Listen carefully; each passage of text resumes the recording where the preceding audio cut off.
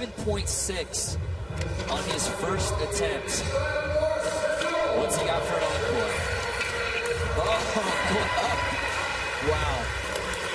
That's a big ollie right there. There we go. 270 switch front board. So clean.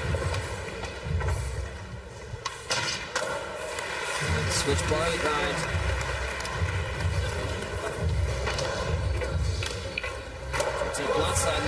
Just knocking him down. Oh, Soft flip. Big man, Mike V. See a little bit of everything here in Cole's second run. Oh, wow. And right here, he's going to go for that backside tail. Flip in. Sticks it. I think we have a new uh, Sticks it. This is just off the mark, but he does take the lead. Here is Chris Cole, who's been crushing it on this course.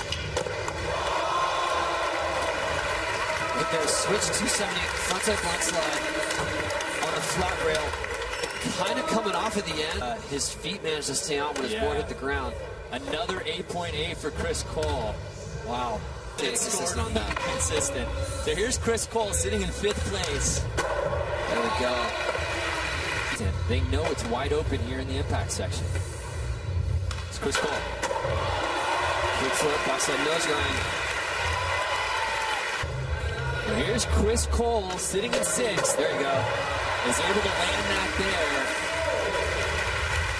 Couple times. 8.3 for Chris Cole as we look from behind, jumping him up in the better. Land a trick, and you take the overall lead, Chris Cole.